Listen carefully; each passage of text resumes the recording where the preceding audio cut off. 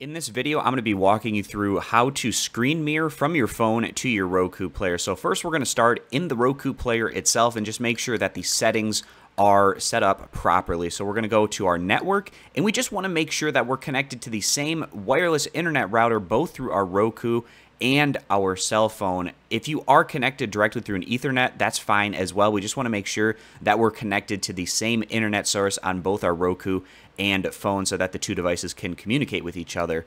Also in the settings, we're going to go down to System, and then we're going to go down to screen mirroring and we just want to make sure that in the screen mirroring mode that it's selected on prompt as long as it's not on never allow it should be good to go. So what prompt means is when you start to try to mirror cast over to your Roku you just need to select okay that you're accepting that casting. So the next thing that we're going to do is go over to our phone to start this mirror casting process. On our phone, what we're going to need to do is drag and drop the top area and then click the little gear to open up settings.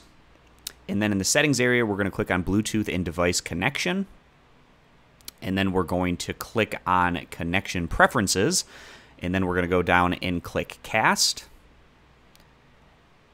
And again, we need to make sure we're on the same internet connection both with our Roku and phone. But once we find our Roku player popping up in the cast area, we can go ahead and select that so that our device can start communicating with our Roku player. Back over on our Roku, what we need to do when this prompt shows up is click Allow and then it'll just take a little bit of time for it to boot up and get ready to go with that screen mirroring. So now you can see that my phone is over on my Roku player and I'll play a video just so you can see how this part works. So now I'm over in the YouTube application. I'm just going to play one of my videos in portrait mode and in landscape mode so you can see that you can change them around. So right now it's obviously in portrait mode, but then you rotate your phone and it'll change it over to landscape so you can get that full picture view. And that's going to complete this tutorial. So I hope that this step-by-step -step guide was helpful in showing you how to cast from your phone over to your Roku player. Thanks for stopping by. Consider subscribing for more, and I'll see you back here for future videos.